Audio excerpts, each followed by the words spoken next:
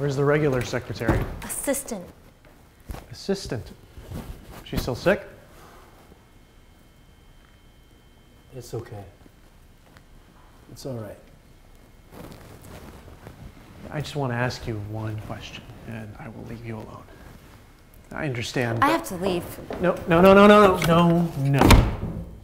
No, everything's fine, right? Yeah. I mean, are you sure? I'm fine. I'll just be a minute here. What's going on? Answer his questions. I under.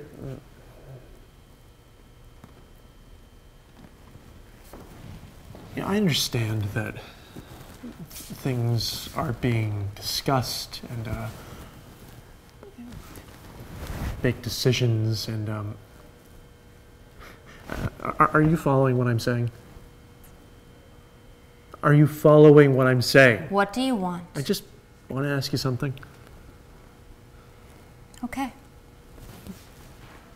You two have been discussing things. Yes, we have. So you've been talking about the new job. Yes, we have been talking about the new job. Uh, we've been talking about ways not to be afraid. Yeah. We've been talking about the ability to make a difference. Yeah, the, the, to make a difference. Yeah, look, I, I'm. I'm not going to ask you how you got this job. It's a temporary job. Yeah, I, I'm getting there. Just bear with me. Now, you two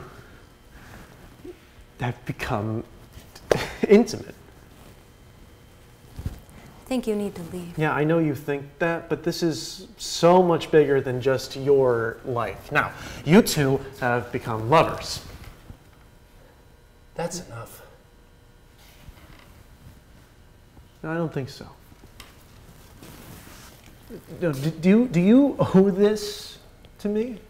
Do you owe this to me after so many years of working with you? No, you two have become uh, lovers. And is that so impossible? No, I don't think that's so impossible. All right, then, yes, we have. All right. Well, then I just have one question. If he didn't support your project, would you still go to bed with him?